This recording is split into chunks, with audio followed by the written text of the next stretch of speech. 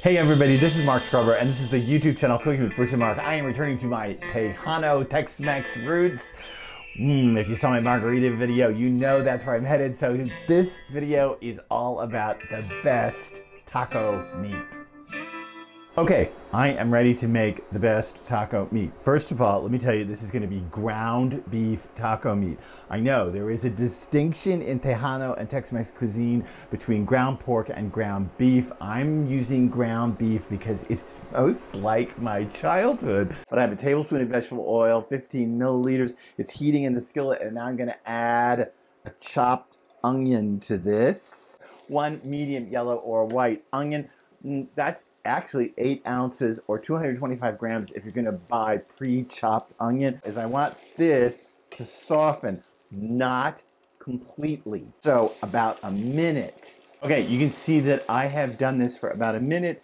The onions still have shape. They are just starting to turn vaguely translucent at the sides. It's key, key to better texture, key. And into this, I am now adding a medium jalapeno, that's been chopped up as well as three garlic cloves. I have taken the seeds out. You can leave the seeds in for a hotter taco meat. And again, this is just to warm these things up. Good God, don't brown the garlic under any circumstances. I'm already wafted in taco meat smoke. delicious. Okay, so what I want to add to this now comes to meat. As I said, mine is ground beef. A lot of people use ground pork. I grew up with El Fenix in Dallas, Texas, and it was ground beef. And that's my childhood, and that's my Tex-Mex roots. So that's where I'm going. I got a pound, about half a kilogram, and I'm using lean stuff. And this to me is actually important because tacos are gonna get all mm, filled up with sour cream and cheese and all that kind of good goopy stuff. And if you use meat that's too fatty, I find that the taco becomes just too much. Okay, the whole point of not overcooking the onions at the beginning and not overcooking the garlic and not overcooking the jalapeno, fresh jalapeno, was so that they continue to release their internal moisture into the ground beef as it cooks, not only providing better texture to the dish, but flavoring the ground beef actually with those vegetables. Okay, and here comes the two maybe controversial bits, but let me have it. I have three tablespoons or about 40 grams of tomato paste. Don't freak out at me if you're a Tex-Mex aficionado, because this is the taco meat I grew up with. I'm going back to El Fenix. I'm going back to El Fenix in Dallas and get that uh, a little bit dissolved in there. You don't have to be perfect yet because now you're going to add some liquid to this.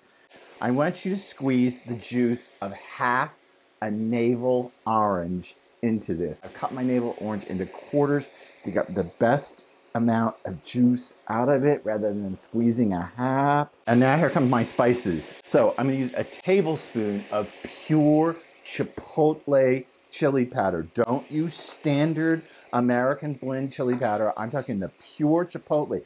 This chipotle are smoked jalapenos. So this is gonna give us a smoky flavor inside the taco meat. I'm using two teaspoons of salt, just plain old table salt. Put that right in there.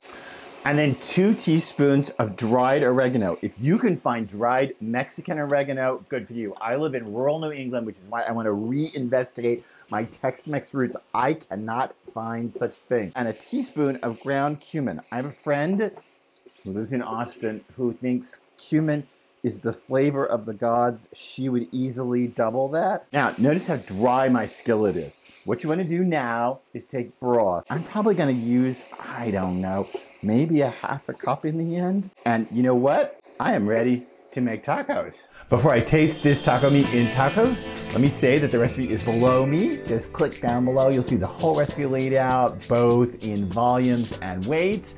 And let me know, what do you think? Do you make it with ground beef? Do you make taco meat with ground pork? How would you do it differently? What do you think about this orange in here? Let me know all of that stuff. I would be thrilled to interact with you. Subscribe to this channel, Cooking with Bruce and Mark. And now let's taste some tacos. Okay, I'm ready to taste. Now, I want to say three things. I got so much to say. Let me say three things. One, if you look at my taco meat, it is not soupy. It is not swimming. That's because I just moistened it with broth as it cooked just until the ground beef was cooked through. And believe me, that's faster than you might think. I've seen recipes online that say cook the ground beef for 25 minutes. Are you kidding me? You're talking mm, three, five minutes at a good medium heat and the ground beef is done at that point. Don't dry it out. Okay, the second thing. I use Chipotle, pure Chipotle chili powder. This is hot. It is fiery hot with pure chipotle chili powder. If you don't like food quite this hot, do a little mix of mild smoke paprika and pure chipotle chili powder to make it mm, a little spicy. And finally, what am I gonna do with this? I'm gonna put it in tortillas. I live in New England and the tortillas are crap. There's no good tortillas. You can't find them. We should talk about tortillas. I'm going to use salsa. We should really talk about salsa sometime. This is salsa fresca. We should really talk about that. It's a fresh salsa, not a jarred cooked salsa or a cooked salsa on the stove. Salsa fresca and sour cream and, of course, yellow cheese. What kind of cheese do you like on your tacos? I like yellow cheese. So, okay, so here's how it goes. I'm going to start with my gross New England flour tortilla. Look at this thing. It's too big. Ugh, come on. What is wrong with people in New England? Okay, anyway, I'm doing I'm going with what I can get. So I'm gonna put my taco meat in there. I'm gonna add shredded yellow cheese. It's gotta have yellow cheese. Come on. What is wrong with you if you don't put yellow cheese in it? I like a little sour cream. Maybe you don't. What do you like in your tacos? Do you like sour cream? Do you like beans? And I'm gonna put a little bit of salsa fresca on it. And here we go. Ready? It's, it's too much tortilla. Okay, you know what? Here's my problem with New England. They just don't know anything. I'm getting rid of the end, so now I can eat it. Here we go.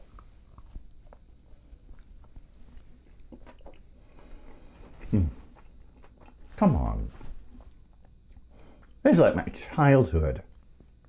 It's hot. Oh, it's so hot. It's spicy. It's delicious. And hey, do you know this? You know what kills the burn from chilies? It is not iced tea and it is not beer.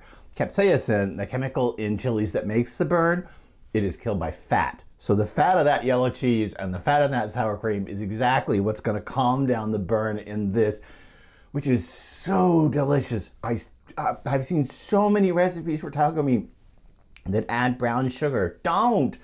Tomato paste adds the sweet. This is delicious. Make this taco meat. Let me know if you made it. Let me know how you make yours. Subscribe to this channel and otherwise, check us out next time. In the meantime, I'm just gonna be eating tacos. So see ya.